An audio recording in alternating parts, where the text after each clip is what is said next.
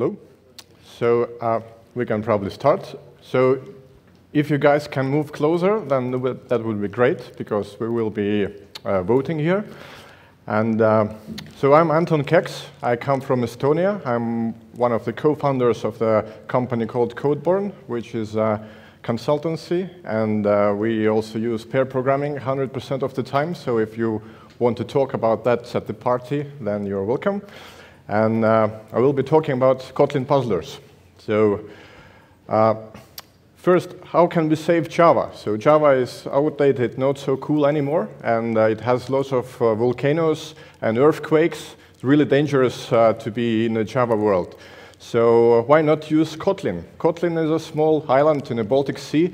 rarely no earthquakes, no thunderstorms, no hurricanes, so really safe to be. And it supports port uh, uh, of uh, St. Petersburg. So it took Kotlin six years to get to 1.0, and now 1.5 to 1.2. Uh, they even changed the logo, so it was a really, I really missed that teapot. Uh, but of course, uh, making a new programming language is not rocket science. so given the amount of time, it should be perfect. But uh, during the same uh, time frame, actually, there, there's another company who managed to uh, make some rocket stuff as well. So, uh, but uh, let's talk about the puzzlers. Who have been to a puzzler talk before? Okay, some of you. So basically, puzzlers are short programs with curious behavior that I will show on the screen in the IDE. Uh, I have errors and warnings turned off in my IDE, so it's a war warning for you. So you don't try to get a hint from the IDE. Uh, so uh, the question would be, what do they print? And uh, you vote for the correct answer, and then we run the program and reveal, reveal the mystery. And uh, then somebody from you tries to uh, explain why the program prints what it does. And I have some flags here sponsored by JetBrains uh, as a prize. So if you, if you do that. So Kotlin puzzlers, actually, I was inspired by the talk by Andrei Breslav and other guys of, from JetBrains who actually told that Kotlin was specifically designed to avoid well-known Java puzzlers. So, uh, of course, an uh, ideal programming language doesn't have any puzzlers, but Kotlin is pragmatic, not ideal. So uh, there are lots of puzzlers already known. Uh, I started collecting them maybe a year ago, and now there is quite a more than 50 already in my uh, repository on GitHub that you can check later. And all of the puzzlers that I run today, they, I run with the fresh Kotlin 1.2 release candidate. So uh, this is the GitHub repo that you can check for the other puzzlers. So I'll show you a selection of those. So let's uh, warm up with an easy one. So that's a small program. You, see a variable, x, which equals foo, and uh, it's checked if it's is foo or not a foo. So who thinks that it is A, that uh, the program will print is foo? So some of you, yeah, I would also think, because Kotlin actually uh, calls equals here if we are Java developers. So uh, who thinks it's not a foo? Okay, there are a couple of people. Okay, so those who uh, have attended any Puzzler talks, you know that actually you need to vote for a non-obvious answer. So uh, who thinks it will not compile? Okay, some of you, um, actually half of you. And uh, who thinks it will be typecast exception? Okay, also some of you. Okay, let's now run it. So I don't hear the drum roll. Okay. And so the program does not compile. The correct answer is C. And that was just a, uh, it was just a warm-up. And the, the thing is that Kotlin actually doesn't have the ternary operator. It still has the shorthand of it, uh, the Elvis operator, but they decided to skip the full-blown stuff. So, uh, so you can think that Kotlin is uh, somewhat worse than JavaScript in this sense. But I hope they will add it at some point. So now let's go to the more crazy stuff. So we have a simple program here, like a function hello and a bunch of weird code in, inside of it. So um, what do you think this program would do? Uh, Who thinks that it will be just hello, A? Okay, some of you. Okay, who thinks it will be double hello? Okay, there's still people thinking that it can happen. Okay, who thinks that it will not compile? And uh, I warn you, like, yeah, there are a lot of people, and I warn you, yeah, if you have an answer like that in a puzzler, then you should think uh, very seriously about that. So, and who thinks that it will be something else? Okay, also some of you. So let's uh, give it a try some reason the drum roll doesn't work perfectly here, but uh, it prints just hello. There were only a couple of hands, so who wants to explain? So there's a hand there. Please uh, help me with the microphone. Can we see the code? Yeah. Okay, so uh, return hello will actually um, compile because uh, it's an expression, so it can be used and it, it, it, it, could be understood as a unit, but it will be, uh, uh it, it will be run, maybe, it, it will be compiled and run before the throw and before the return, etc. Yeah, but so why the hell can you write the code like this? okay, because, because, it, because expressions in Kotlin are assignable? Yeah, very good answer. Actually, everything in Kotlin is an expression, and actually, uh, if you already, do you know what this expression actually, what is the result type of this expression? Yeah, it's nothing. So, and nothing can be assigned to anything, so that's why you can throw it uh, thousands of times and you can return it again, and actually uh, this code it just will never be executed because of the first return. So you, you got a flag, I don't know if you, somebody can pass it. Whoa, maybe, we, okay, maybe we should skip throwing. So let's, uh, uh, let's go uh, further. So we have a sneaky return puzzler. So that one is a classic one. So maybe you have seen it somewhere, maybe not, but uh, like, let's look at it. So there is a list of one to three, which is passed to a function, and then it's iterated, and uh, basically numbers above, or actually below two are printed, and then the OK is printed. So what do you think if this, if for some reason doesn't work, and you will get one, two, three OK, where are they? Who thinks? Nobody? Okay. Uh, who thinks that it will be 1, 2, okay? So it's a very logical answer. I would vote for that as well. So who thinks that will be option C, 1, 2? Uh, I wonder why. Okay, and who thinks that it will be the infinite loop? Okay, everyone believes in Kotlin. So let's uh, run it. And the drum roll, and we have 1, 2. So who wants to explain? Uh, I think the first one was there. So the for each runs each time, and it runs on the one, and it prints it, and then it runs on the two and prints it, and then it gets to three, and it is greater, three is greater than two, so it hits that return. And since it's not a labeled return, it returns to the actual function and not just the for each, so it returns the whole function. yeah, so it's not Java. So if you want to emulate Java, you can do like that. So you run a flag, so you can just pick it from here later. okay, so uh, yeah, in Kotlin, return actually returns from nearest function declaration. So another way of fixing that is to have uh, to have a like an anonymous function here. Then it will return from the function. So let's uh, let's get moving. So uh, we have a code like this. So some of the puzzlers already submitted by the uh, spectators of my other talks. So uh, like this one. So we see very easy one. We, we have a variable called x, which is assigned to 1 to 3. And then it's checked if it's string and an int at the same time. Then it's incremented, and uh, the length of the x is added. And so we get, I guess, 1 to 7, right? So, and uh, actually, maybe this can be the result of the of the new unknown, uh, uh, not so much talked about feature in Kotlin 1.2, where it can actually convert the types on the fly. So let's see. So who thinks it will be still 1 to 3? Okay, some of you. Who thinks that it will be 1 to 7? Yeah, we believe in new features in Kotlin. Who thinks it will be class cast exception? Yeah, maybe it should be. And who thinks that this is a nonsense code and should not compile?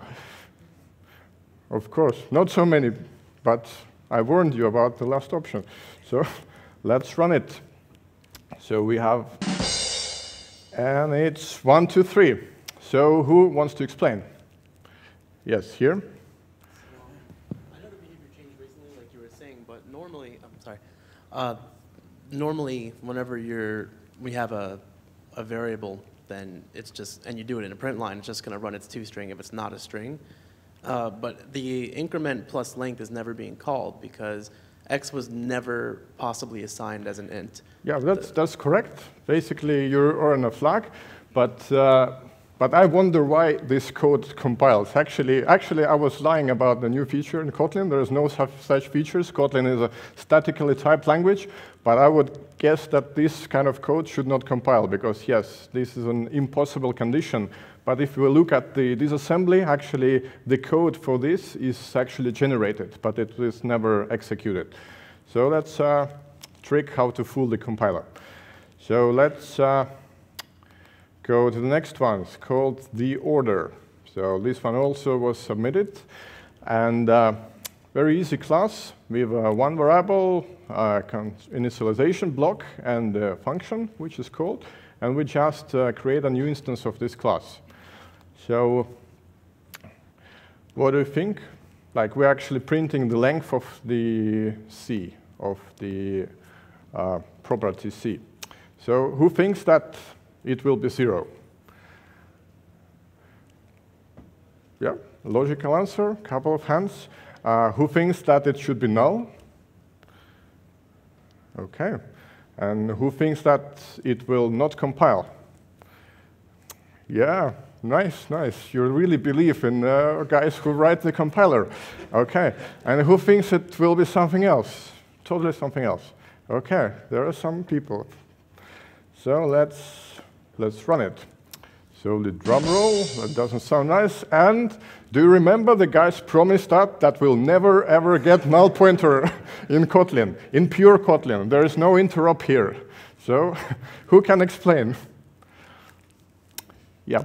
So the private val is never instantiated. So when you call the, uh, it, it shouldn't compile because um, it's never instantiated anywhere. And so it's like, hey, you either have to instantiate this or make it nullable, which it's not nullable.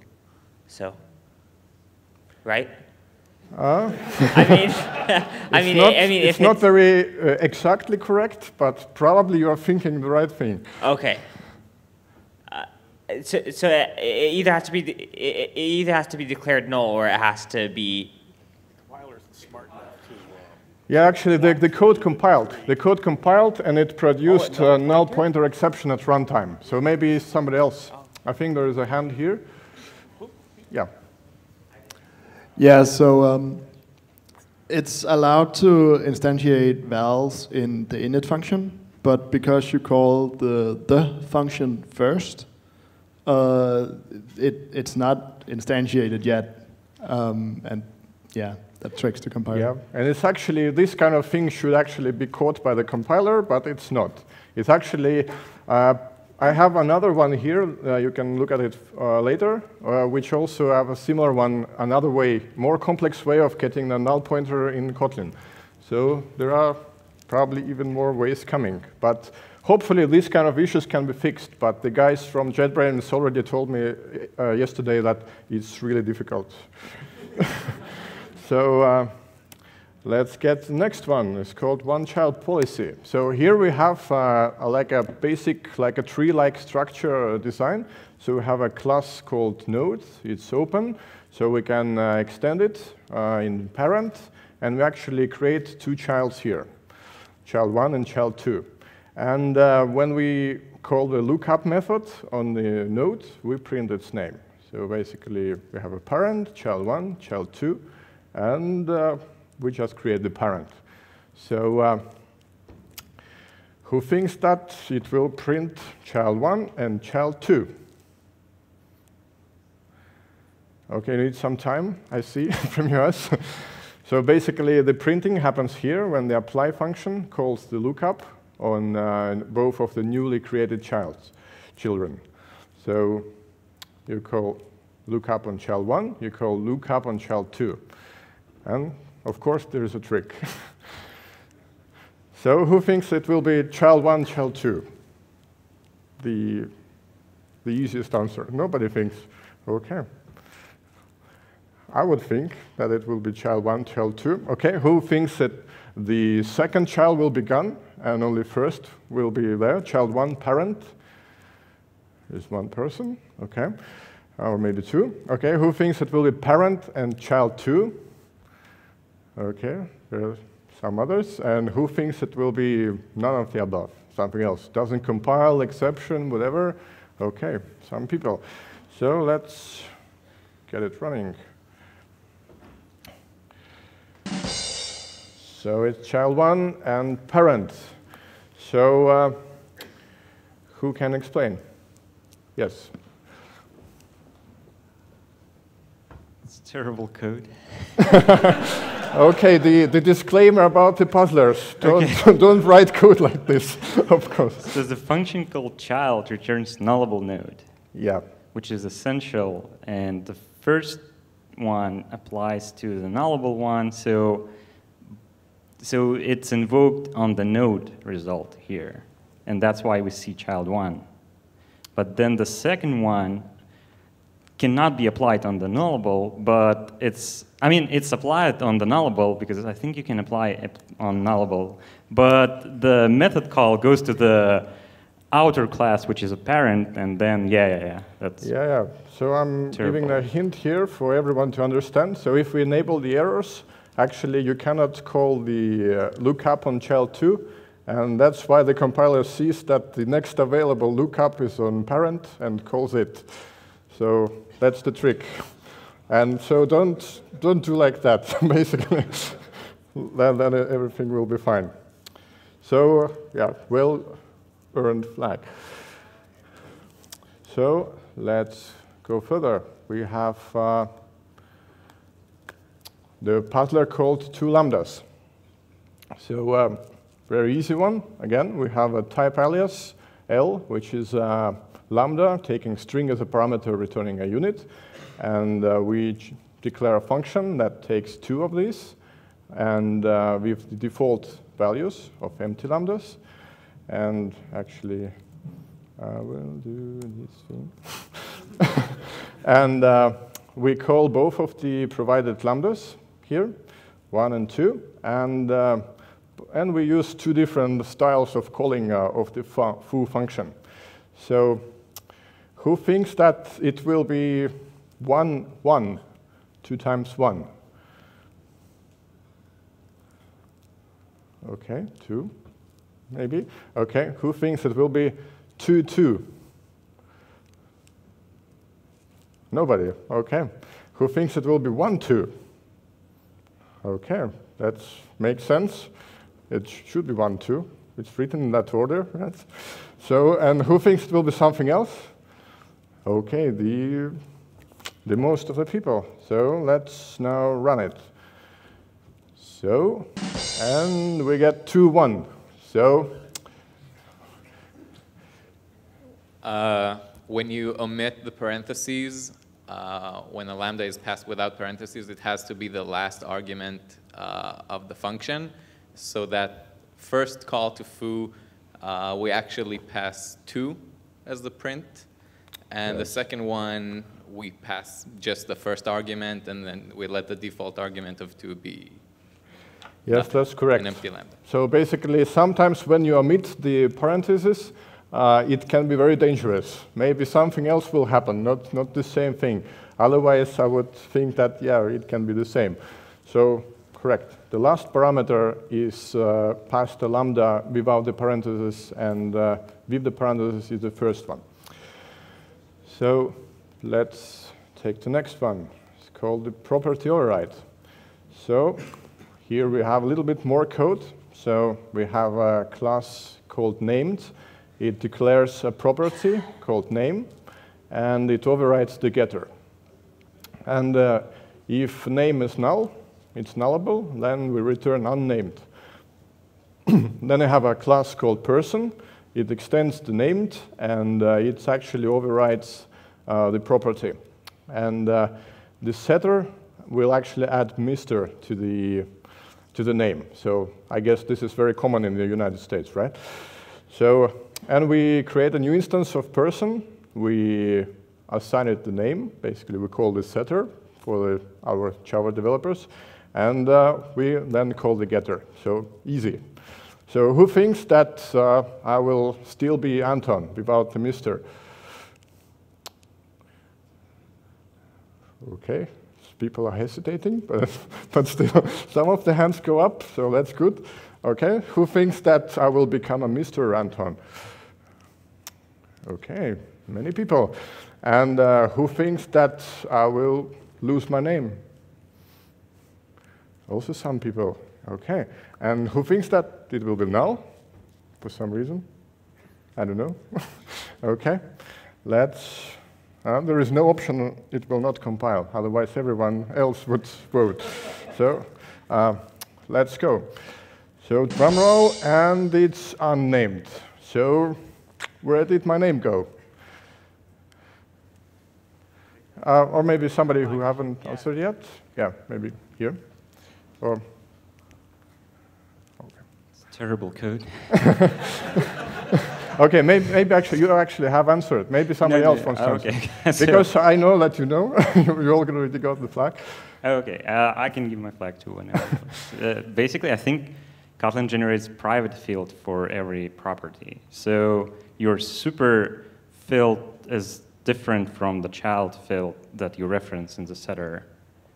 So basically, when you call in the getter like super.name, it's not seeing your field that you declared in the child class. Yeah, that's actually, that's correct. I will explain a little bit more. So uh, uh, th there is a concept of backing field for the property. And uh, here we have a property name, which has uh, one backing field where the name is stored. And it belongs to a class named. So when, uh, when we want to override the property, it's actually a, a, weak point in Kotlin syntax at the time, I think. So it's very easy to introduce a new backing field with the same name. So basically, this uh, class person introduces a new backing field uh, because we assign a value to it, like this here, and, and really the getter, it still delegates to the backing field of named, but the setter would uh, set the field of person. And that's why the named, the getter still like is left as null. And we get this. So yeah, how, how to fix that? Somebody knows?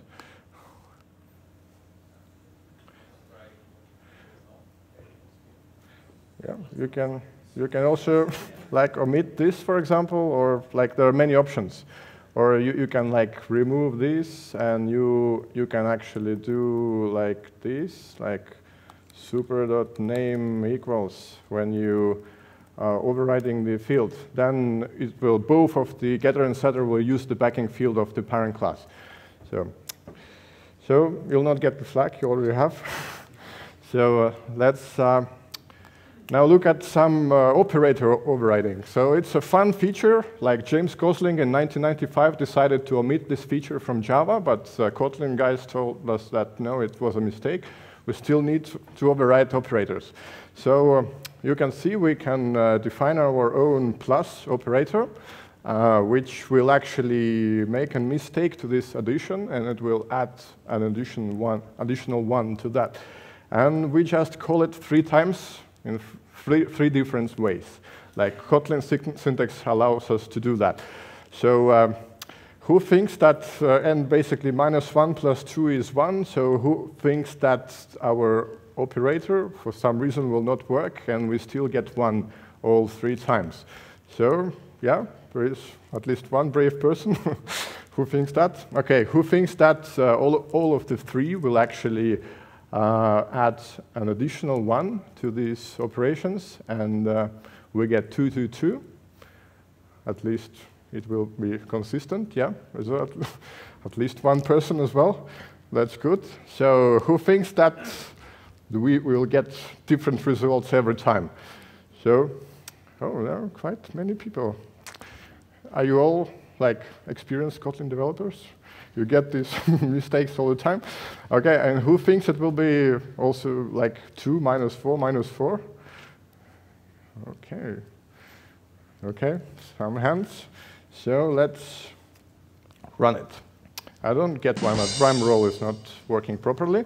So yeah, you get the different result every time. So who can explain why for each of the cases? Who haven't answered yet? I think the hand is here. Yes? Okay. Who wants to explain? Okay, there is a hand there. Yeah, is the actual plus sign not being overridden or um, redefined there, but the second one is works correctly, and the third one actually is. I'm assuming the regular plus isn't being redefined there. Okay, yeah, that's correct. That the regular plus actually it already exists, and fortunately we cannot redefine that, so we, we can avoid all the pitfalls that we have in C++. So that one works properly. We get one as a result. So the second one is, an, uh, be is because the function is declared as an infix, so we can actually call it and uh, get the result of two, because this function adds another one here. So we get two in the second case. And the third case is the funniest one, so you probably know.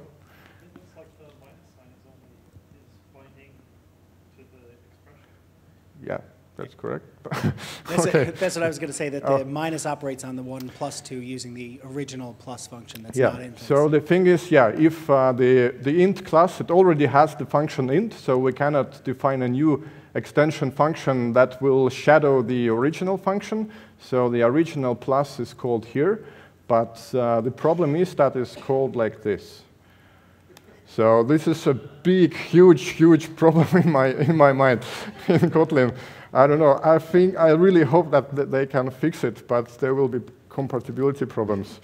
Probably somebody already relies on that. so yeah, the way to fix it, of course, is like this. So we get the, uh, the expected one as a result. So, but it's crazy with this minus. Um, I really have a problem with uh, giving the flag here, but I will give the. Okay, let, let's give it to, to that guy. okay. Let's. Uh, okay. Sorry. you have another chance. Okay. Now we have a really nice uh, puzzler called Mars. So let's imagine we have a population on Earth. We have several cities like San Francisco, Tallinn, where I come from, and Kotlin is an island. And by the way, the city Kronstadt is uh, on that island. It has a population of 43,000 people. And, uh, and basically, we create a, uh, an instance of population, and we delegate uh, populations of these cities by map. So it's a very nice feature in Kotlin language. So you can delegate properties to a map. And uh, when we provide a map with some correct values from Wikipedia, of course, and, uh, and then many years have passed, and Elon Musk has sent us all to, to the Mars. And uh, so we just got an empty map, and the Earth is like deserted. So, and then we print how many people is left in all of these cities. So, um, who thinks that will be zero, zero, zero? So all the people are gone, really? So, yo, one, two, couple. Okay, so yeah, where does do the zeros come from? That's an interesting question. So who thinks that uh, it's really hard and probably Elon Musk will fail and will not send us all to Mars? So yeah, some of the people don't believe in Elon Musk. It's a pity. So let's see uh, who thinks that will be null pointer exception that we are promised that we will never have. Okay, some other people. And who thinks that will be that it will be no such element exception? Yeah, this one is popular. I would guess too, because like empty map, there should be no value with this key, but let's see. The drum roll. And we have, uh, like, as we can see in the movies, it's really hard to survive on Mars. So, so basically, we're not going there. So, um, who can explain? I think the first one was there. So when you instantiate the population class, you give it the first map um, that is actually populated with data. And when you set up the delegates, it has a reference to that map. So when you go and you overwrite the city's property of population, the delegate is still the original map. You've only overwritten the property. Yeah, that's correct. Actually, uh, even though the cities here is a var, so you can change, it's, uh, it's a property by itself, but uh, the delegates, they actually store their own instances to the original map. And that's why they actually still like work with it. So if we would clear this map, then uh, no such element exception would be thrown, but otherwise it has no effect. So let's get moving. So we have another crazy one. So the love for exclamation marks in Kotlin. you know, uh, this one is called antimatter because in Kotlin you can create matter from a null. So basically you can convert null to a unit. And uh, so uh, two operators override, overridden on nothing. And uh, you guys you guys really know that the type of the, the inferred type of foo is what? That's a bonus question. Yeah, the inferred type of foo is, of course, nothing, uh, nullable nothing. So if there is no other type provided, then it's nullable nothing, the type of just null, inferred by the compiler. We can even verify that. It's too small for you to see, but it is. So basically, we can do this kind of stuff with the foo. And uh, so the matter is, uh, you need to count the exclamation marks, and you need to decide what, what will happen. So who thinks that in the end we will uh, apply everything, and we will, from a null, we still get null. So no uh, antimatter effects. So nobody, yeah. It's probably impossible. We, we need to get something from a null. So who thinks it will be units? Yeah, it's quite logical. So you probably counted that there are odd number of exclamation marks here where they are like the not operators. So we will be left with the unit in the end. And we do something with that here. We basically assert that it's, uh, it's a not null two times. We can also add a couple of times more for clarity. And so if you're really sure that it's a, it's a not null, then uh, in your code you can write like that all the time. and uh, uh, it will be Kotlin null pointer exception. Yeah, and this is the exception that is thrown when the null assertion is, uh, doesn't work. And who, who, thinks that it will not compile because it's some crazy code? Yeah, some people, of course. This is a good option always to, to vote for. So let's see what happens, and the code does not compile. So who think, who voted for not compiling? Yeah. Um, that's terrible code. by Uh, I, I, really I appreciate. I think that you cannot manipulate a nothing at all. So you cannot extend it, you cannot, it does not exist. So you cannot create a function that extends it or takes it as a parameter. Uh, that's incorrect, unfortunately. Ah. Who else? Actually, you can read the reason why it's not compiling. Kotlin is supposed to be giving very good, uh, very good error messages sometimes. so, anybody else? Yep, here. The compiler doesn't know which method to invoke. You have the same method signature twice. Yeah, that's what it says, but why? uh, because they have the same method signature. I guess I don't know the technical details behind it, but you can't have two methods with the same method signature. Like, that's not a thing. Uh, that's not exactly correct. Maybe, maybe, maybe you will try?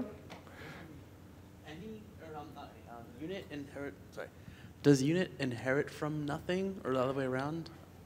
Uh, unit, no, no, no. Units inherits from any, and nothing is actually assignable to any type. So. Could it be that it is because nothing is nullable? The, the, well, your, your overload is on the nullable nothing, which in turn is a unit because of the nullability? Not quite. Okay, I'll answer that myself. I actually already answered that. So the problem here is that there is a ambiguity here. So when uh, you're calling this not operator and you're calling it on nothing, the, the type of foo is nothing. And I already told you that nothing is assignable to any type in Kotlin. So basically, uh, it means that for this exclamation mark, both of the not functions actually match. So because you can uh, call it on a nothing and you call it on a unit because nothing is, is assignable to unit. Nothing is assignable to anything.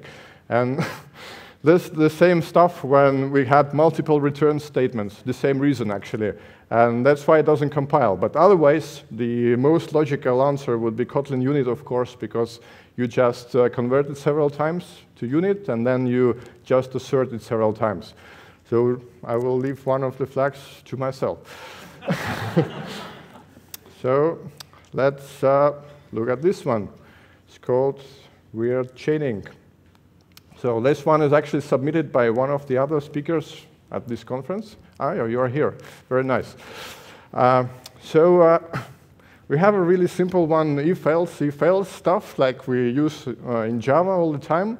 And we print number sign, like we have um, numbers, negative, zero, and positive, and we print these signs for all of this. Like pretty, pretty easy. Like, uh, so who thinks that this code just works? So we get negative, zero, and positive option A. So nobody believes in Kotlin anymore. okay, one hand, nice. Okay, who thinks that negative and zero and for, for some reason positive will be gone? There's one hand, maybe two, three, okay. Uh, who thinks that it will be just negative and positive and the zero will be omitted? Okay, there are also some hesitating hands. And uh, who thinks that it will be zero positive? One, two, like three, maybe? Okay. And the rest, none of the above? There is no such options here. okay, let's run it. And we here have zero positive. so I think there is a hand.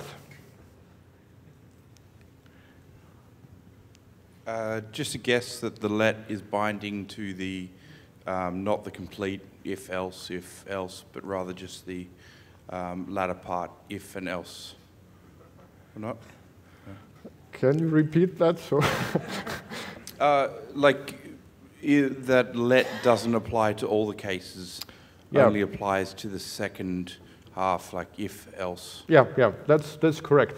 The flag is yours. So basically, the code uh, works like this.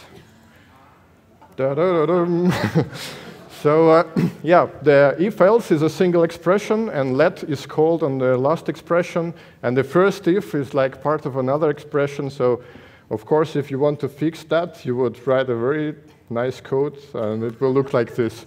But uh, as I heard it several times already, it's a terrible code. Don't write code like this. of course, don't use let on uh, if-else directly. Add parentheses at least. So let's have a next one. So we have a really nice, really nice puzzler. So we have a variable called i. It's uh, 10.5. What is the type of i? Probably you know. It's double. Yeah, it's double by default. So, and we use the very nice when uh, syntax. When we check if it's in the range of 1 to 10, then we print in. If it's not in the range, we print not in. Or if it's something else, we print else. So would, what would that be? So who thinks it's in the range? Yeah, some of the people. Okay, what are you thinking? I don't know. really weird. I think I would vote for B. it's not in the range. Come on. Who thinks not in the range? Yeah, very few people. Okay. Who thinks it will be else? Yeah. okay, that's that's the winner probably. Or with not compile. Yeah, probably. checking that double is in a range of ints. It doesn't make really sense. Kotlin is a type-safe language, right? So let's uh, run it. And the correct answer is it's in range. Who can explain? There were many hands. Yes, please. I'm guessing it converts the double to int and then does the comparison. Is it in the range? Yeah, it's, it's the correct answer. You got the flag. But the thing is, if you would run this code with Kotlin 1.0, that would work correctly. the answer would be not in. For some reason, at one point in 1.1, they actually fixed or improved the code here. Actually, I don't hear, uh, see the source, unfortunately, but actually, yes, they, they do truncate the double to int, and then they check, and it's uh, really wrong. I hope they will fix it again back like it was in 1.0. And uh, the next uh, puzzler is uh, called overextension. So you can extend many things in Kotlin. So how about that? We have a operator function called invoke, which actually takes the uh, receiver and uh, adds the lambda that is provided to it. So we have the extension function called z, or you say z in the United States. And uh, it adds an explanation mark here. And uh, we also override the toString, and we add another explanation mark, exclamation mark at the end. So, and we have this funny thing here. So, will it compile? I don't know. So, who thinks it will be A? Explanation mark X. You need some time? No? Okay, there's one hand. Anybody else? Okay. Who thinks it will be x, y? Okay. More people? Who thinks there will be x, y with an exclamation mark at the end? Yeah, nice. But I told you that too, you, you cannot add an extension function with the name of already existing function. But uh, who thinks it will not compile? Yeah, it's nonsense code. Why should it compile? Okay, drum roll. And uh, yeah, the correct answer is XY. So who knows the reason? There? Okay, so it actually runs as if you didn't define the toString extension method, and the reason is that if a method exists and an extension method also exists, Kotlin will always call the, the, the real method, mm, the real method. And the string.toString uh, exists in the string class. Yeah, so this one is not called, but this invoke is actually, it is called. So basically you can uh, write things like that. It's useful for DSLs. You can invoke uh, a string, basically, with a lambda, which is uh, provided here and is added to x. That's why it's x, y, and uh, the z, z at the end actually adds another exclamation mark here. So that's a little bit puzzly. So I don't have any flags, but I have a different thing. and uh, okay. And uh, yeah, you can still have the. Okay, and the last one is uh, there is a proverb in Estonian language, it's called uh, good child has many names. You already want to answer? No, I want to ask a question about the previous. Yeah, okay. Is there any way to call that string that toString method? Does, is, is it uh, no, no, there is no way to call this thing. yeah, yeah, that's unfortunately true. Yeah, I would also think that it should be a warning, but there is no warning at, at this time. So, so yeah. Would, why would... You, you uh, can call it from Java, by the way, because it will generate a static toString method with parameters. why would dot to, why, like, why would uh, dot toString on a string even exist? Because print line, it's like, why would it call dot toString on a string? It's already a string. It doesn't need to typecast anywhere, right? Yeah, here it would, but print, print line actually, I think it uh, calls toString on, uh, on other objects that it doesn't know about. But for a string, I think there's an over, overloaded version which just prints the string. Actually, there is not. Uh, there is uh, only the any version which calls toString in any, any case on a string. So, and uh, the last one, so the proverb, this good child has many names. So we have a class C with a function called sum. It has two named parameters uh, with default values and just returns the sum of them. And there is a class D which extends C and uh, overrides the function sum and calls the super, super function. And we basically have uh, two instances of it. Both of them, actually we have one instance and two uh, references to the D. Uh, and we just call this function two times, and we pass the x as zero. So you can see the default values are one and two. So who thinks that it will be two, two? Where are they? Okay, there's one brave guy here. Who thinks it will be 1 1? Nobody. Okay. Who thinks it will be 2 1? Okay, more people. That's good. And who thinks that it should not compile? Yeah, I would also think that probably it should not compile. Because if you have noticed, their x and, uh, and y here are actually mixed up. So let's uh, run it. And what we have, the correct answer is 2, 1. So, who can answer? Somebody who haven't answered yet, please. Um, okay, the rest. okay, there's uh, behind, yeah.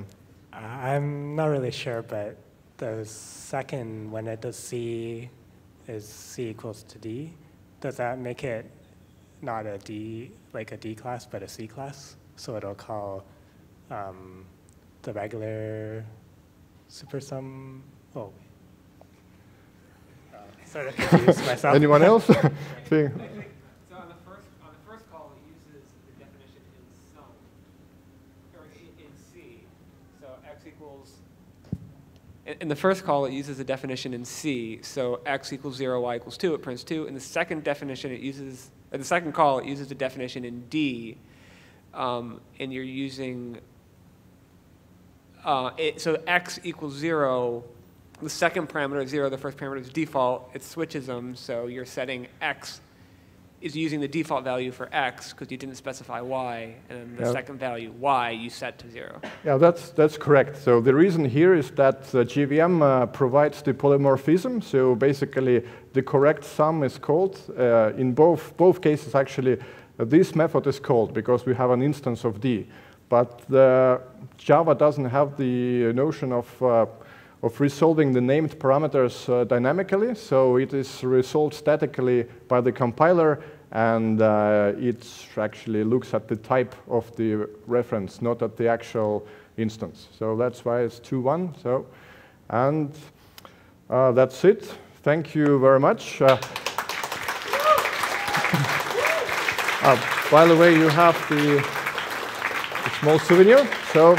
Uh, when I gave a, another puzzler talk in Kiev uh, this year, there was this guy sitting. It was a Java conference. There was this guy sitting, and he says that I'm waiting until somebody starts writing in Kotlin.